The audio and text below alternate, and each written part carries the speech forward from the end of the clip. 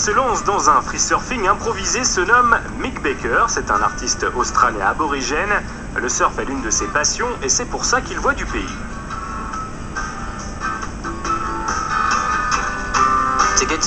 Pour venir en Europe, j'ai fait une fresque pour l'un de mes amis de la Gold Coast, Mick Fanning.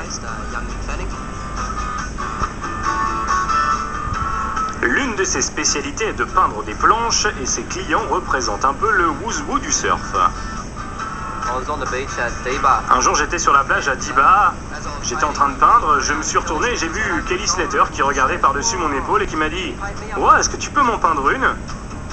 Le travail de Baker représente beaucoup plus qu'une simple peinture agréable à regarder. Celle-là, je l'attendais. Cette planche a voyagé 35 000 km avec moi ces quatre derniers mois. Tout comme les peintures de ses ancêtres, le travail de Mick raconte une histoire. On a un dicton chez les aborigènes australiens. L'eau douce et l'eau sale se combinent ensemble. L'océan ne refuse jamais une rivière, il s'ouvre toujours, et c'est comme ça qu'on devrait être dans la vie. Cette planche est symbolique de ce que Mick a pensé de moi en me voyant surfer, et la façon dont il me voit dans la vie, d'où vient mon surf, où va mon avenir. Et c'est bien d'avoir quelqu'un qui se connecte à moi d'une manière artistique. C'est un très bel objet que je vais pouvoir mettre chez moi. Je suis très heureux.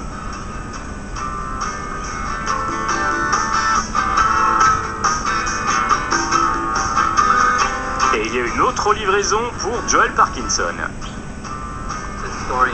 C'est l'histoire du kangourou combattant.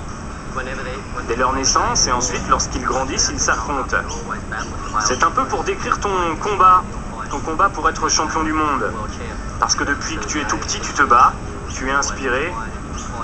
Vous vous battez pour être le meilleur, c'est ça votre histoire vous surfeurs. C'est un sacré travail que tu as fait. Merci, c'est très gentil. Et Mick reçoit un peu d'aide de la famille Parkinson pour ajouter une touche très personnelle au portrait de famille.